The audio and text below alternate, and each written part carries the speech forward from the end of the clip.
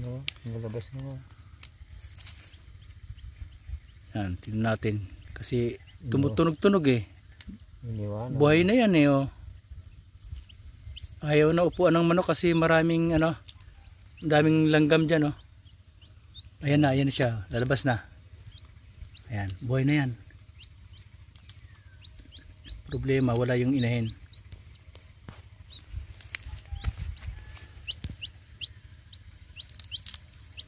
Tira. Wala ka mang incubator para mabuhay yan ay. Ano kakainin lang ng mga puta to. Oo. Incubator yan dapat eh. Ayan oh. Ayang. Sayang, dapat binalot mo na lang. Ayan, balot na yan mga yan. Balot. Baka mahanapan ng aso. Mm. Kung mabuhay man di.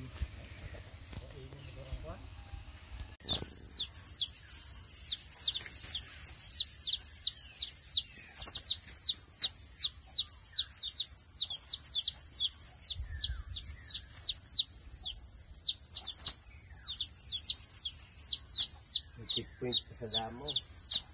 Yan. Linggo ngayon, baka wala.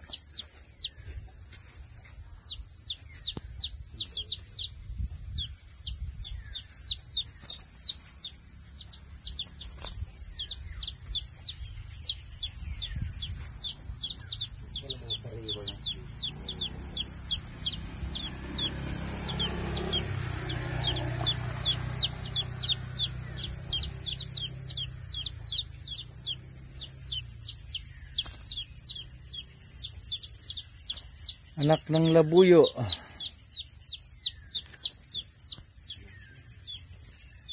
Manok gubat.